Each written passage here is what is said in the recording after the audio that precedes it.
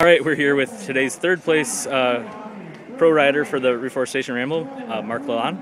Congratulations on your on your uh, finish today. Uh, we haven't seen you too much this this season. How how's it feel to be back and, and racing? Um, you know, I mean, I've done. I think this is my fifth race, so uh, I'll just try to try to fit in that top five if I can. Um, try to make the break whenever possible. Um, you know, and it's always this is a good one to, to get ready for Schwam um, the ski trail sections. Sure. A lot more single track than I remembered.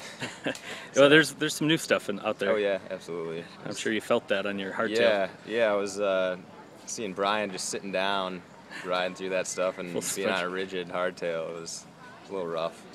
But uh, you, you seem to, uh, you know, we have we've had a pretty dry summer, and you seem to kind of pop up when, when the weather is bad. And on a single speed, I think that's that's kind of a good idea. Yeah, oh yeah, absolutely. how'd I that work out for you? There's uh, there's not a whole lot you got to worry about on the single speed, so it's always nice. And I don't know whether it's uh, other people just kind of it gets in their head that you know they have to worry about their gears and all that, or if it actually you know I'm sure people do have issues as well, but certainly nice not having to worry about Right. shifting or anything. Well, I had issues, but I'm not I'm no pro, so it's all good.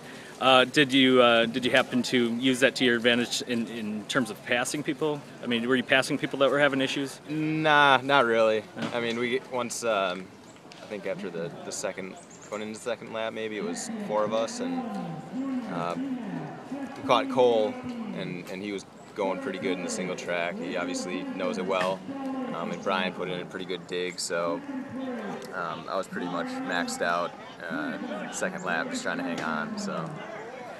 You did great. Um, I, I heard you say something about Chequamegon. A lot of uh, a lot of the pros here are telling me that's what they're doing next. So, uh, what are your goals for uh, for the fat tire? Um, you know, Chequamegon always goals always to be on the podium. Um, have not done it yet. I've been pretty close, so hopefully this is the year. I'll, I'll uh, for the the triple crown races. I switch over to one by ten, so Okay. uh, a little bit easier to, Throw in some gears. stay afloat on Sure. a geared bike. Well, congratulations, and I think you got to go get your uh, your medal soon. So I'll let you get to that. Thank you.